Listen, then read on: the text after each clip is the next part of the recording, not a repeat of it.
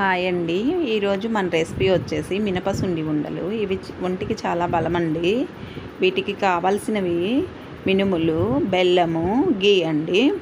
ఇప్పుడు మనము ఒక ఐరన్ కళాయి తీసుకొని మినుముల్ని ఇలా వేపుకోవాలి ఐరన్ కళాయే నేను ఎందుకు తీసుకున్నానంటే మినుములు చాలా టేస్టీ వస్తాయండి. మీడియం ఫ్లేమ్లో పెట్టుకొని ఒకసారి ఇలా వేపి చూడండి. బాగా గట్టిగా వస్తాయి. హాఫ్ కేజీ బెల్లం తీసుకొని ఇలా తురుము పెట్టుకోవాలి. మినుములు చల్లారనిచ్చి వాటిని మిక్సీ గ్రైండ్లో బరకగా గ్రైండ్ చేసుకోవాలి. లేదా మరైనా పట్టించుకోవచ్చు బరకగా.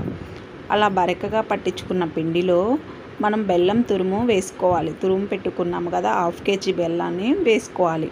ఒక హాఫ్ కేజీ నెయ్యి తీసుకున్నానండి. దాన్ని కాచి చల్లార్చి పెట్టాను. ఈలోపు ఈ పిండిలో వచ్చేసి మనం బెల్లం తురిమేసి మొత్తం కలిసేలాగా ఇలా కలుపుకోవాలి. ఇవి తింటే పిల్లలకైనా పెద్దవాళ్ళకైనా చాలా బలం అండి ఈ కరోనా టైంలో ఇవి తిన్నారంటే మీరు హెల్తీగా ఉంటారు. ఏ కరోనా కూడా ఏం చేయలేదు.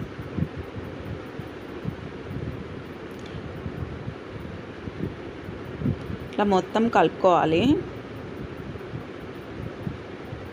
ఇప్పుడు వచ్చేసి నెయ్యి తీసుకొని కాచి చల్లార్చుకున్న నెయ్యిని ఇలా కలుపుకోవాలి.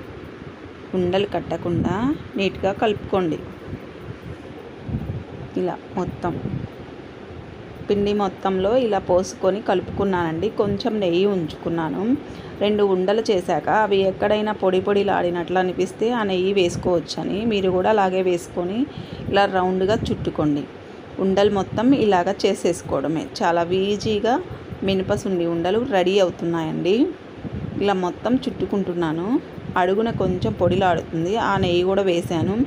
అంతే చాలా టేస్టీగా చాలా ఈజీగా ఎంతో బలంతో మినపసుండి ఉండలు రెడీ అయిపోయాయండి.